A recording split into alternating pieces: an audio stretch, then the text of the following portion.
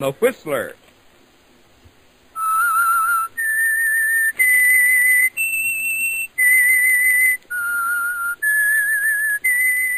Sit back and enjoy another strange story by The Whistler.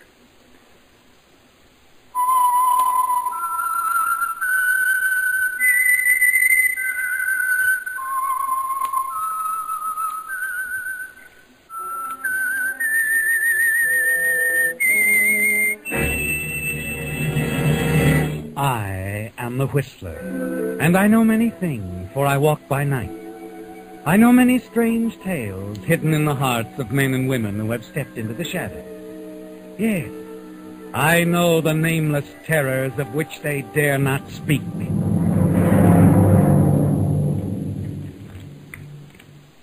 And now the Whistler's strange story. Incident at Arroyo Grande.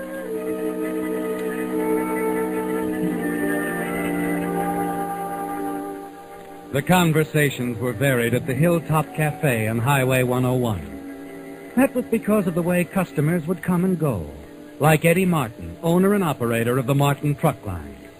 He stopped in regularly, enjoyed his coffee, a chat with Hazel, the Hilltop's genial proprietor. He was a hard worker, Eddie, and had come quite a way in the difficult and sometimes risky business of hauling freight by truck between Los Angeles and San Francisco. Hazel knew him well and liked him. Their conversations usually ran along the same lines with a constant background of jukebox music. Oh, the coffee's fine, Hazel. That's what I like about you. So dependable. Like you, Eddie. Thanks. Always right on schedule. Oh, try to convince my wife of that, will you? Huh? Ethel still worry about Oh, you? never. I guess I could push trucks up and down 101 for another 20 years. And she'll keep thinking I'm going through the rail, a wreck, a burn-up. Can't a- blame her. The work's dangerous. Yeah. Besides, there ought to be more for the boss to do than just drive. Oh, I've got to. It's not easy to build a business, you know. It takes a lot of work. You're doing all right. You got three trucks now. Uh-huh. And I'm going to buy three more. But it takes money. And until I put some new deals over, well, I just can't finance them. Overextended? Oh, you said it. You'll make it. I hope so. Oh, Ethel's sure getting tired of playing second fiddle to a truck and then the trailer. What does she do when you're away on these long hauls? Oh, she keeps the house and the books. He goes dancing once in a while with Vic, I guess. Vic. I'm not sure that's a good idea. Oh, best driver I got, Hazel. Uh-huh. Smoothest, too. Besides, he thinks he's heaven's gift to women. well, you can't hate, hate him for that. They all fall for him. But Vic Hamilton's a great guy. He's my best friend. Just like one of the family. Just like one of the family.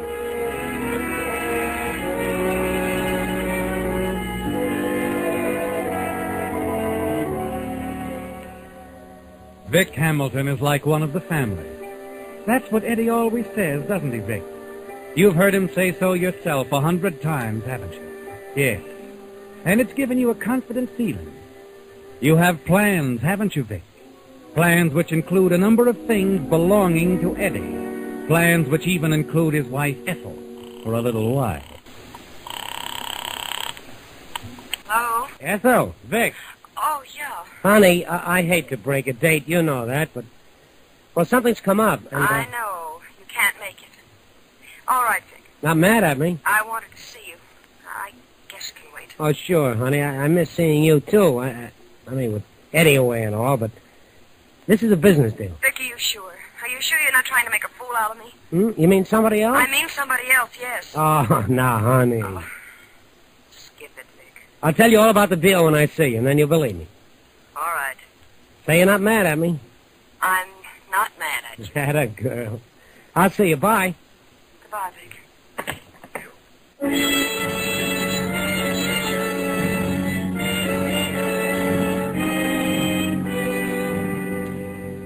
It isn't easy keeping everything going smoothly, is it, Vic?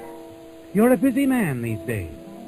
But with your plans concerning Eddie's trucking line, Ethel is necessary, and you have to keep her happy. You wonder just what you're going to tell her as you leave your apartment and walk down the street to Ted Reese's place. You do have a business appointment, don't you? Only one that Ethel wouldn't understand or approve of. And you're not that friendly. You're late, Vic. What kept you? I'm sorry, Reeser. I had to make a phone call. Oh, hello, Ann. Hello, Vicky. Skip it, sis. He's here to talk to me, business. Well, don't mind me. We won't. Vic, there's a change in plans. Oh? We've been barking up the wrong tree putting you after Ethel. Well, I've always told you that. I'm talking, Ann. We'll get nowhere trying to take her away from Eddie. She doesn't control the company. Oh, great. After I spend days working on it. Hmm, Night, too. Ann, go fix us a couple of sandwiches and don't hurry. Okay, I can take a hint. What's the deal, Roger? We can still break Eddie. Don't worry about that. Matter of fact, he's ripe for the kill. Good. The guy's overextended himself, needs cash. Who doesn't? This is different. He's over his head. He couldn't cover the loss of a single buck. And he's going to have a few to cover. I don't get you. You will, Vic. You remember the time Eddie lost that load of stuff to those hijackers? Yeah? Well, add it up, boy, add it up. He's going to lose again the same way. Well, so where does that get us? He's covered by insurance. If he loses again, that big load, he's a bad risk, Vic. A very bad risk. The insurance companies will want to write him off. Pay him off and write him off. Oh. oh. I see. Sure you do. You're a bright boy, Vic. And that's why I'm counting on you to make it look good. Me? Look, I couldn't pull off a thing like that alone. No, no, no. You'll just be riding along, that's all. Relief driver with Vic on the night we hijack him. My strong arm man, Fred, will kind of shove you around. You'll take a little bump on the head, maybe, nothing more, just just to make it look good. And for it, you get a cut. Say around ten grand. Now, that I like. For ten grand, I can look awful good. And you can also do a little complaining to the insurance people that are on. You know, moan a bit maybe about carelessness, shy on cash. You know. Sure, sure, I know, Roger. And without insurance, he's out of business. He won't know what hit him, Vic. And when his truck payments come due, we can buy him out lock, stock, and barrel for chicken feed. Good? Very.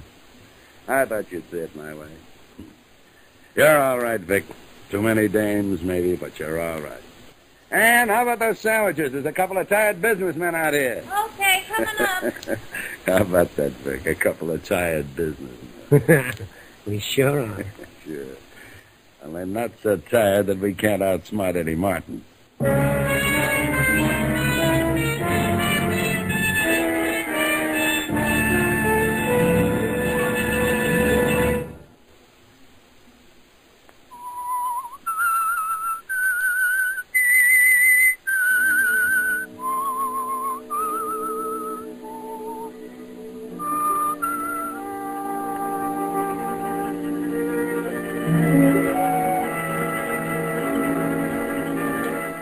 Well, Vic, your plans with Ted Reeser are shaping up, aren't they? You're glad that they no longer include Ethel, because it's more important than ever that you have Eddie's confidence. You've got to know about every shipment so you can advise Reeser on the proper time to strike. It comes less than a week later on an afternoon when you're alone in the dispatch office of the truck line and Eddie comes hurrying in. Oh, Vic, Vic, get this, will you? Hey, kid, we're in business. Look at this. Look, but good. Something exciting, Eddie? Oh, I got the Ajax car contract, kid. A hundred thousand dollar load to start with. A hundred grand? Yes, sir. Why, their business will set us up and make that order of three new trucks look like nothing. Oh, that's great, Eddie. You know I'm glad for you. Sure. When's the shipment leave? Oh, tonight? Oh? Or maybe I ought not to take tonight off. Maybe I better make that run with it. I'll say you'd better. I wouldn't have anybody else on that load with me. I'll set it up, Vic. Supervise the loading. We'll pull out at 8 sharp. Same route as always. Eight sharp, huh? Yeah. Okay, that's good deal, Eddie. Well, I'll go home and get some shut-eye. Have to be on our toes this trip, huh?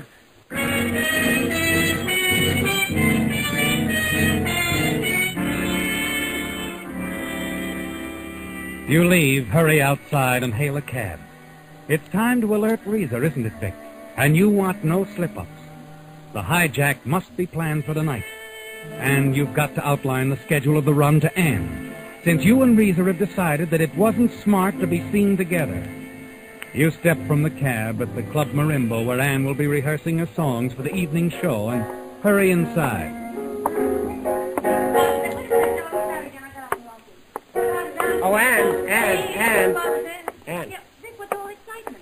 Come on, honey, come here. Uh, you know that little bar across the street? Come on, we got things to discuss. Yeah, but my rehearsal, you I, can I, skip I gotta... that. This is important. Well, all right. I... Well, I'll run over that with you later, Joe, okay? Okay, Annie. All right. You take her arm, hurry her outside and across the street to the Domino Bar. A dark booth and a pair of Manhattan seals the final plans for tonight. Well, that's that's it, Anne. Just get it straight and uh, tell your brother. Mm-hmm. Leaving L.A. 8 p.m. sharp. Driving north 101 should reach Arroyo Grande around 1 a.m. Check. Okay. Now, that's all you have to do, honey. Just tell Big Brother. We'll do the rest.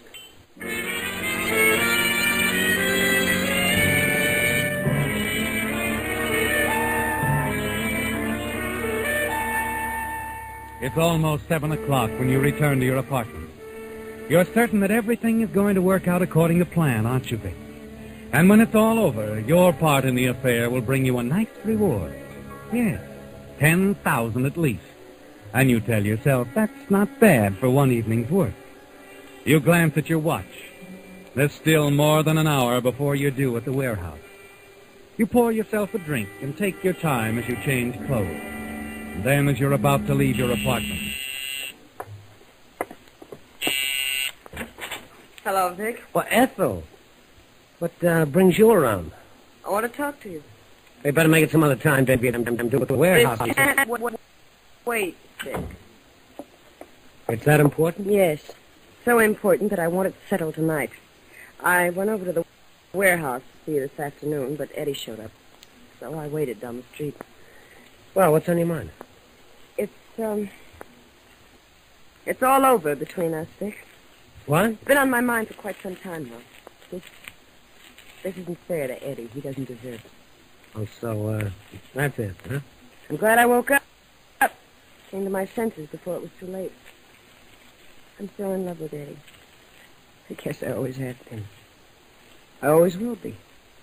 I see. You don't seem to be terribly broken up about it. Well, Ethel, after all. Of course. As a matter of fact, it's all very convenient for you, isn't it? Our breaking up. Now you have the green light. Ahead. You can devote all your time to Anne, And? the girl at the nightclub. I followed you to that bar across the street. Oh, did you, uh, Ethel? I was sitting in the next booth. I, I couldn't help overhearing your um, plans for the evening. Plans? What do you mean? I can put two and two together. You're going to help someone hijack Eddie's truck, aren't you? Am I? Do you think I'm going to stand by and let you do that? What are, are you going to do?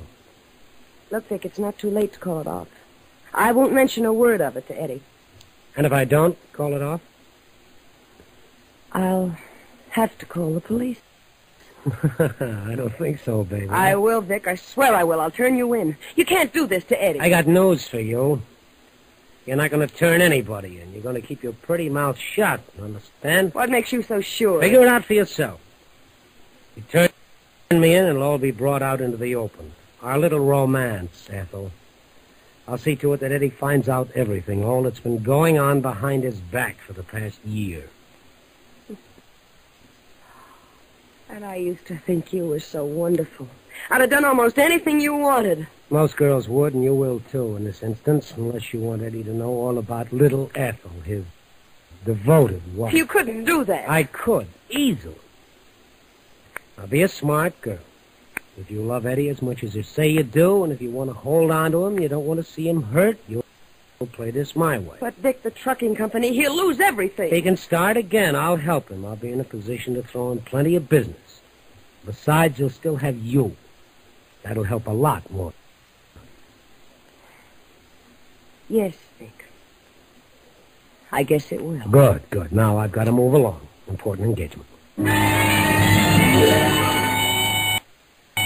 Ethel stands there for a moment, staring at you. Then, without a word, she turns and walks out. You're certain she won't carry out her threat to call the police, aren't you, Vic? Confident that nothing is going to interfere with your rendezvous at Arroyo Grande. And that confidence is still with you an hour later as Eddie wheels the big truck out of the warehouse, with you sitting beside him.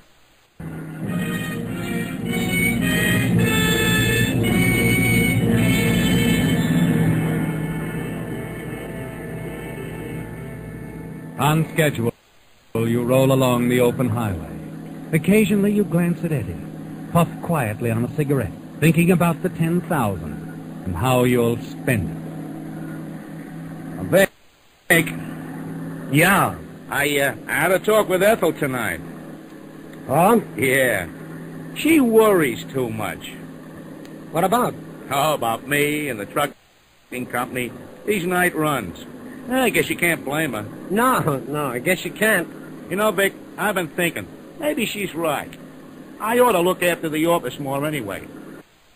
That would make her happy. Sure. Of course, I can't do that for a while yet. A few more hauls, and then I can turn the whole thing over to you. Me? Oh, sure, sure. You take care of the trucks and the drivers. I'll handle the office and the warehouse. And I'm going to cut you in for a bigger percentage, too. How do you like that? That's swell. That's nice of you, Eddie, but... No, no, you deserve it, kid. You deserve it. You've been a lot of help to me. You I don't know how lean back, Vic. Continue puffing quietly on your yeah, you've been cigarette. a lot of help. Everything's going to be all right, isn't it? certainly appreciate it. Eddie doesn't suspect. I think it's about You're certain that Ethel hasn't told him a thing. You know. Oh, Eddie, Yeah? there's a guy in a car behind you blinking his headlights. He wants to pass. Oh, oh, sure, sure.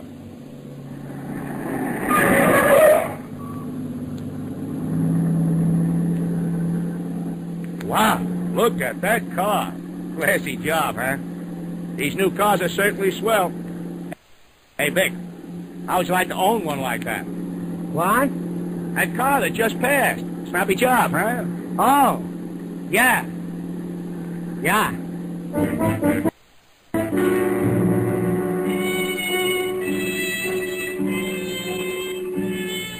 You recognize the big car, don't you, Vic? Reese's car.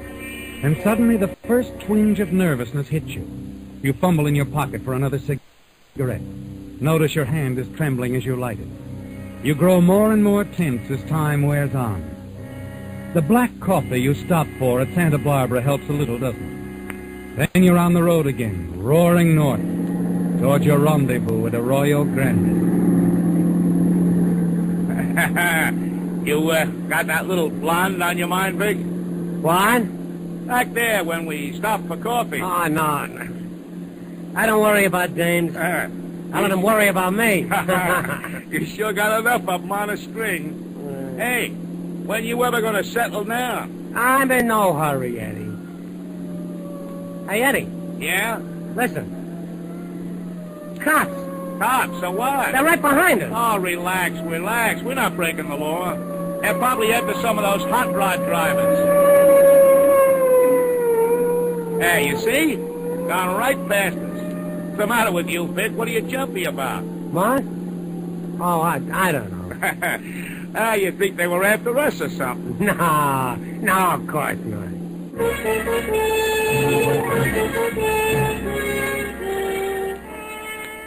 The sound of that police siren did something to you, didn't it, Vic? You sit back and force yourself to remain calm. Finally, several miles down the road, you approach an intersection.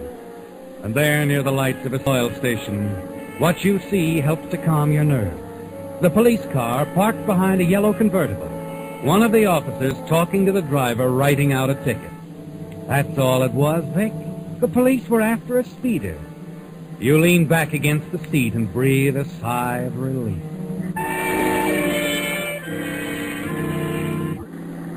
That was it. Hey, Vic, Yeah? look up ahead there. Girl standing in the road. You're damned, isn't it, Vic? Standing near the big car. Reese's car parked by the side of the road. You see her in the glare of the truck lights, waving her arms. Slow down, Eddie. We better see what the trouble is. Not on your life. Sorry, baby, no dice. Why don't you stop? I don't like the looks of it. Got my eye on that car. What do you mean? She's not alone. Two men with her. I spotted them back in Santa Barbara when we stopped for coffee. One of those guys was eyeing this load. Are you sure? Yeah. If they're up to something, they'll come after us. You know, Vic, by the time you start up the grade, that Eddie will never get away from him. The truck begins to lose speed, and suddenly Reese's car is alongside, and then it cuts in sharply. Eddie slams on the air brakes. Even before the truck stopped rolling, two masked men, Reeser and Fred, jump on the running board. Reeser on Eddie's side with a gun. Now, Vic, now you've got to make it look good. Okay, Barney Oldfield, this is as far as you go. What's the idea? Shut up. Keep your hands on the wheel, driver. Fred, get the other guy out of the cab. Come on, pretty boy. I said, come on, let's go. Wait a minute. Maybe this will hurry you up. What do you think you're doing? Hey, wait a minute. We haven't Do got all night. All right, take it easy. Get your hands off me. Wait a minute, Vic. Don't take any chances. Do like they say, will you? They've got us. Yeah? Vic, don't be a fool. Come on, break it up, break it up, I said. Vic, please, please. Wait a minute. Wait a minute. He'll kill you. You gotta Your stop. pal's pretty stubborn. Sit here nice and still, driver. I think I can persuade him to quit with this gun. Come on, handsome. Get in the car. Vic. Vic, you all right? Yeah, sure, sure. I'm okay, Eddie. Oh, come on, let's go. We haven't got all night. You, driver, wheel this truck down the road. Turn left at the cemetery. We'll be right behind you. Okay, okay. Come on, Vic. Uh-uh. Your pal's gonna ride in the car with us. And he might get hurt if you try to make a break. Now get moving. Okay. Vic, listen. Do what they tell you, huh? I don't want you to get yourself killed. Okay, Eddie. All right, driver, roll on ahead.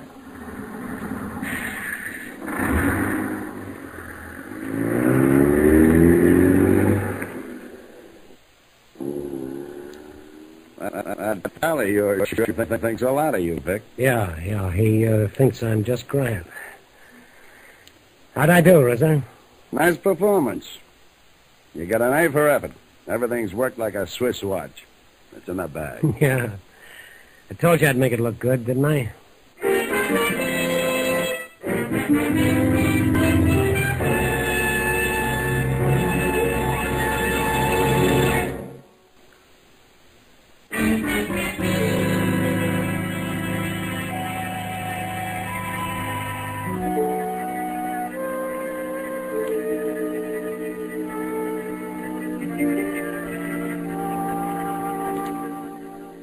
Moment Eddie Martin stepped into the Hilltop Cafe that night, Hazel, the Hilltop's genial proprietor, knew that something was wrong. The ever-present smile was gone from his lips. His face was chalk white and drawn. He walked slowly to the counter and sat down. You're late, Eddie. Hey, yeah. Yeah, I'm late. Uh, how about a cup of coffee, Hazel? Sure, I saw you coming. Here it is. Oh, thanks.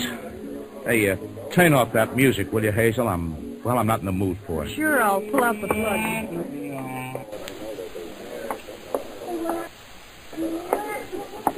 Eddie, what's wrong? You look like you've just seen a ghost. Hijack, Hazel. Two guys jumped us this side of Arroyo Grande. No kidding. Yeah. One of them, a guy named Reeser, the cop said, shoved a 38 under my nose. Sure. Say, I've heard of him. The other guy hauled Vic off the truck and they slugged him. That's when Vic started swinging. Then they made me drive the truck down the highway and turn off at the cemetery. That where they hoisted the load? Now, they didn't get it, Hazel. Before they could start unloading, the cops came up. Cop. Yeah. Reeser starting shooting, and so did they.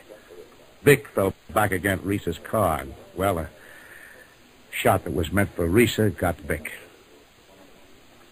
Vic's dead, Hazel. Oh. That's tough. Vic sure fooled me. Too bad some of his dames couldn't have seen him tonight. He had lots of them, you know. He looked good, all right. Sure gonna miss him. And I hate to tell Ethel about this. She thought the world of Vic as a friend of me. Yeah, I know. You told me lots of times how Vic took your wife dancing for you. You know, a highway patrolman said some woman called and tipped off the police that we were going to be hijacked. Yeah? Wonder who that could have been.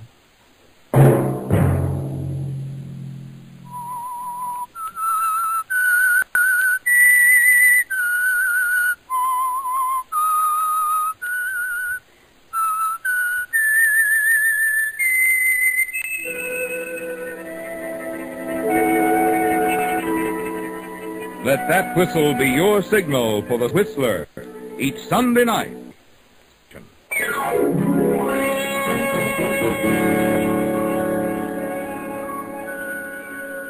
Featured in tonight's story were Frank Lovejoy, Eddie Marr, Joan Banks, and Ted DeCorsia. The Whistler was produced and directed by George W. Allen, with tonight's story by David H. Ross, music by Wilbur Hatch. So tune in at 7.30 next Sunday for another strange tale by The Whistler.